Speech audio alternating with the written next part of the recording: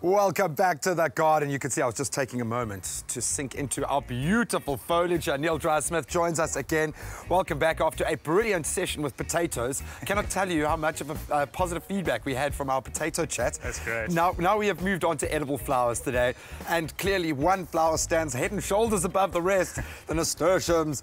Um, this is an incredible plant. As you can see, ours are going well. So clearly this is the right kind of, of environment to grow your, your Yes. nasturtiums in. Yeah, perfect. North facing, lots of sun, no shade, well drained soil. It's ideal. Okay, what makes this, this, this little flower and this plant so special? I can see you were like, ah, we've got tons to talk about with this guy. it really is an interesting plant. Um, what, what makes it stand out? What is, first of all, from the, the edible standpoint, um, you know, tell us a little bit more of background about the nasturtium. You can use just about every part of the plant, Wow. whether for, for cooking or for medicinal use. So it's a very versatile plant. Um, you know, just if we if we have a, a brief look at the different parts of the plant, the flower's great for garnish, great for salads, very high in vitamin C, and they have quite a good taste, almost like a peppery watercress taste. Okay. Leaves, the young leaves, better than the old leaves. They're generally softer. Um, also can be used in salads or as a substitute for spinach. Okay. Um, Wonder food right here, yeah. The stems can be used as well. Um, you can grind up the leaves and the stems and use them as a tincture just to put onto a... It's got a nat natural antibiotic in it. Okay. So it can be used for putting on grazes or open wounds, basically. Yeah, great. So very you can, versatile. You can go Bear Grylls when you've You got a can. nasturtium It's a in your full-on garden. Bear Grylls plant. Um, no, as much as it looked like it's, you know, just throw the seeds in and it's, it's going to grow. Clearly, we've obviously got the perfect setting for it here. But what do we have to, to keep in mind now when we want to grow our own nasturtiums?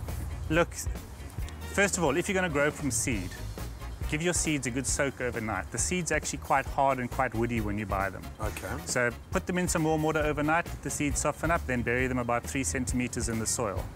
Well-drained soil, full sun, and they'll go. It's, they're really very easy and very versatile. Seasonally, when do we? When should we? Look, you want to you want to get them in the ground late December, early early November, just just before summer kicks in, so that you can harvest from say mid-January all the way through to March. Okay, so it's about a month because these guys, I mean, I don't even remember having nasturtiums know, in the garden, like and now they've they've taken over. How do we keep them in check? What should we be doing? Yeah, to... you have to be quite aggressive. They, they're rampant growers. There are lots of different varieties. So there's some that climb, there's some that just form a neat bush. They're dwarf varieties, which are small, obviously.